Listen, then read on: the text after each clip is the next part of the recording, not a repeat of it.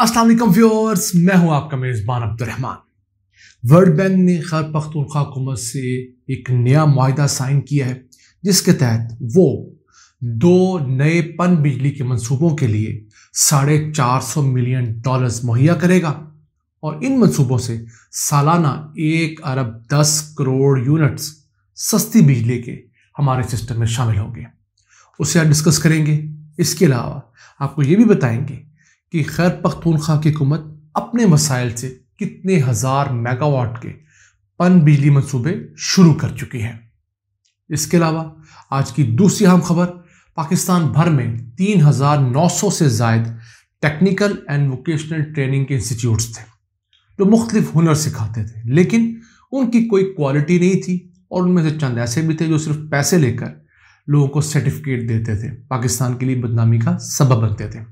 तो गुजशत साल एक नेशनल बॉडी बनाई गई जो मुल्क भर के तमाम टेक्निकल और वोकेशनल ट्रेनिंग सेंटर्स को रजिस्टर कर रही है। आज आपको बताएँगे कि एक साल के अंदर उन्होंने 3,900 में से कितने सौ इंस्टीट्यूट रजिस्टर किए हैं और कितने इंटरनेशनली एक्रेडेशंस दिलवाई हैं।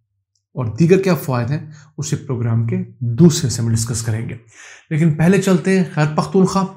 जहाँ पर वर्ल्ड बैंक ने दो नए हाइड्रो पावर प्रोजेक्ट्स के लिए साइन किया है। पहला तो है Madyan hydro power project Swat में है। एक सौ सत्तावन मेगावाट बिजली पैदा करेगा। दूसरा भी Jabral hydro power project Swat का है। ये 88 मेगावाट बिजली पैदा करेगा। मजमू तौर पर ये दोनों प्रोजेक्ट्स 245 मेगावाट सस्ती बिजली हमारे सिस्टम में शामिल करेंगे। इनके ऊपर कंस्ट्रक्शन का आगाज़ 2023 के शुरू में होगा और 2027 तक ये मुकम्मल भी हो जाएँगे। सालाना एक अरब दस करोड़ यूनिट्स सस्ती बिजली हमारे सिस्टम में इनसे शामिल होगी। मध्यन हाइड्रो पावर प्रोजेक्ट सालाना साढ़े छिहत्तर करोड़ यूनिट्स पैदा करेगा और जबराल चौंतीस करोड़ यूनिट्स ये वो सस्ती पन बिजली के यूनिट हैं। हमारे घर में जो एक यूनिट काउंट होता है बिजली का जो वापडा या लेस्को फेस्को में बिल देते हैं, वो बिल का एक यूनिट, यही एक यूनिट है यानी कि एक अरब दस करोड़ यूनिट्स मजमू तौर पर पैदा होंगे। अब हो क्या रहा है कि जो हमारे नदरन एरियाज़ हैं, मसलन आज़ाद जम्मू कश्मीर गिलगित बल्तिस्तान और खैर पख्तूनख्वा, यहाँ पर हाइड्रो इलेक्ट्रिसिटी का पोटेंशियल बहुत ज़्यादा है पन बिजली बहुत बनाई जा सकती है।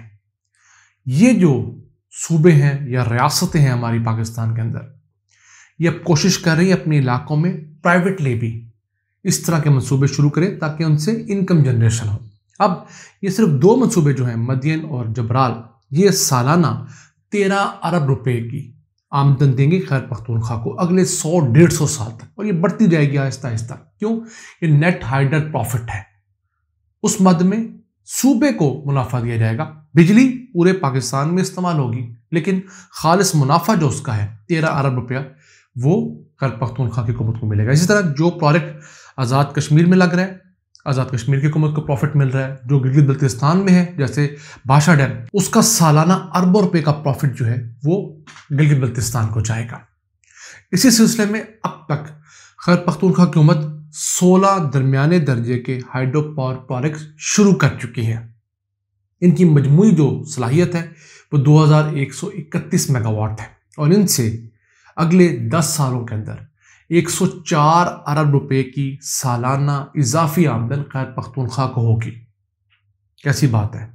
हर साल 100 अरब रुपए से ज़्यादा इन हाइड्रो पावर प्रोजेक्ट से आएगा। एक नया सोर्स ऑफ़ इनकम है खैर पख्तूनख्वा के लिए। अब इन 16 में से तीन प्रोजेक्ट्स गुजशत साल मुकम्मल हो गए, जो बासठ इशारिया आठ मेगावाट के हैं। चार प्रोजेक्ट्स अगले साल सन 2023 में मुकम्मल होंगे, जो कि 170 मेगावाट के हैं, जबकि बकिया प्रोजेक्ट्स अगले सात से आठ सालों में मुकम्मल होंगे, एक हज़ार आठ सौ निन्यानवे मेगावाट। जो जो प्रोडक्ट ऑनलाइन आता जाएगा, उसी डेट से उसका मुनाफा उस हुकूमत को मिलना शुरू हो जाता है। अब चलते हैं आज की दूसरी अहम खबर की तरफ़। गुजशत साल 2021 में पाकिस्तान भर में फैले हुए टेक्निकल और ट्रेनिंग इंस्टीट्यूट्स जो हैं, उनको एक नेशनल लेवल पर रजिस्टर करने का प्रोग्राम शुरू किया गया। और प्रोग्राम था national accreditation council for technical and vocational strength. नेफटेक के तहत ये इदारा है, क्योंकि तीन हज़ार नौ सौ चौदह ये इंस्टीट्यूट पूरे पाकिस्तान में, मेल भी हैं, फीमेल भी हैं और जो कंबाइंड होते हैं वो भी हैं। इनमें ना तो कोई क्वालिटी थी ना कोई स्टैंडर्ड्स थे ना इनकी कोई ग्रेडिंग थी। इंटरनेशनल लेवल पर इनको कोई मानता नहीं था। रिश्वत देकर बासानी आप अपना कोई भी सर्टिफिकेट ले सकते थे डिप्लोमा ले सकते थे। तो एक साल के अंदर अब तक इन 3,900 में से 655 technical and vocational training institutes register हो चुके हैं। बाकी भी आहिस्ता आहिस्ता हो रहे हैं। अब इनके अंदर नेशनल लेवल के अंदर करिकुलम स्टैंडाइज जो है वो नाफिज कर दिया गया है। इनकी क्वालिटी इंश्योर करवा दी गई है। इनकी ग्रेडिंग की जा रही है। और इसके बाद इनको आहिस्ता आहिस्ता इंटरनेशनल मुख्तलिफ़ इदारों के साथ, मुख्तलिफ़ इंस्टीट्यूट्स के साथ एक्रीडेशन भी करवाई जा रही है। ताकि यहाँ के फ़ारग तहसील बच्चे जब कहीं जाएँ तो उनकी डिग्रियाँ वेरीफाई हो सकें। मुख्तलिफ़ इंस्टीट्यूट से जब उनका कोलेब्रेशन होगा ऑर्गेनाइजेशन के साथ। तो वो भी इनकी डिग्रीज को ऑनर करेंगे। क्यों? पाकिस्तान से मसला ये था कि जो लोग टेक्निकली भी यहाँ से जाते थे, मसलन प्लम्बर है इलेक्ट्रिशियन है, कोई और चीज़ है, उनके पास सर्टिफिकेट अगर डिप्लोमा भी है तो उसको आम लोगों से कम सैलरी मिलती थी। क्यों? उनके डिप्लोमे पे, उनके सर्टिफिकेट के ऊपर डाउट होता था, खर्चा होता था, इन्होंने दो नंबर बनवाया होगा। उस बहाने की वजह से हमारे जेनवन टेक्निकल स्टाफ को भी एक्सप्लॉइट किया जाता था। तो अब इसके बाद आहिस्ता आहिस्ता जिस रफ्तार से ये जो तमाम रजिस्ट्रेशन हो रही है, उम्मीद है अगले दो सालों में ये सारे के सारे इदारे नेशनल लेवल पर रजिस्टर हो जाएँगे। फिर इनका जो करिकुलम है, वो स्टैंडर्डाइज होगा। पहले हर सूबे का अलग अलग था। तो अब एक लेवल होगा कि इलेक्ट्रीशियन के अगर छः महीने का सर्टिफिकेट है, दो साल का डिप्लोमा है तो उसमें कम अज़ कम ये ये मैार की चीज़ें पढ़ाई जाएँगी।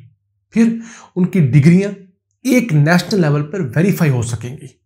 पहले तो तमाम जो डिप्लोमास की डिग्रियाँ वेरीफाई करवाने के लिए रिश्वत दें आप, मुख्तलिफ़ रेट है तो आपका काम हो जाता था। अब वो नहीं हो सकेगा। जैसे ग्रेजुएशन की और मास्टर्स की डिग्रियाँ एच से एक सेंट्रलाइज प्लेटफॉर्म पर रजिस्टर होती हैं वहीं से वेरीफाई होती हैं। ये भी एक सेंट्रलाइज प्लेटफॉर्म पे वेरीफाई हो सकेंगी। फिर हमारे मुल्क में टेक्निकल ट्रेनिंग का मैार बढ़ेगा। अब हर साल साढ़े चार लाख से ज़्यादा तलबा जो हैं टेक्निकल एंड वोकेशनल ट्रेनिंग लेते हैं।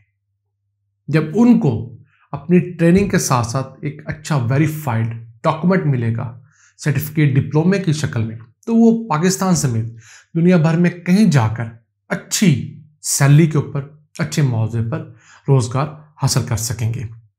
इसी के साथ जो इंटरनेशनल एक्रेडेशन का प्रोसेस शुरू हुआ था उनमें से 10 पाकिस्तानी इंस्टीट्यूट्स जो हैं वो इंटरनेशनली एक्रेडेशन हासिल कर चुके हैं और 10 मज़ीद की एक्रेडेशन इन प्रोसेस है। तो ये मैं समझता हूँ, हमारे कम पढ़े लिखे तबके के लिए बहुत बड़ी सहूलत है, क्योंकि उनके पास हुनर होता है, शायद तालीम कम भी हो। तो उस हुनर के ज़रिए वो अच्छी ज़िंदगी गुजार सकते हैं, अपने बच्चों को अच्छा मुस्तबिल दे सकते हैं अच्छा रोज़गार कमा सकते हैं और फिर अपने लिए जो हुकूक होते हैं लेबर लॉस के तहत, बाकी लॉस के तहत वो हकूक भी हासिल कर सकते हैं। अपना लिविंग स्टैंडर्ड जो है, वो अच्छा कर सकते हैं। पाकिस्तान के लिए बाहर जाकर ज़्यादा ज़र मुबादला कमाकर हमारे खसारे कम कर सकते हैं। तो नाजरीन, आज के लिए ये दो अहम खबरें। मुझे उम्मीद है कि आपको पसंद आई होंगी। अपने फीडबैक से मैं ज़रूर आगाह किया करें। हाँ और पॉजिटिव रहा करें। कोई बात नहीं, कौमों की ज़िंदगी में आम लोगों की तरह मुश्किल वक्त आते हैं। मुल्क पर मुश्किल वक्त आया हुआ है, महँगाई बहुत ज़्यादा है, मसाइल हैं, लेकिन इन अगले छः आठ महीने में इलेक्शन हो जाते हैं अगर फिर एंड फाइन तो पाकिस्तान एक डेढ़ साल बाद दोबारा ग्रो करने लगेगा, और हम उम्मीद करते हैं कि अब की मरतबा हमारी ग्रोथ लॉन्ग हो सस्टेनेबल हो। अपने मेज़बान अब्दुलरहमान को इजाज़त दीजिए, अल्लाह ने के बाद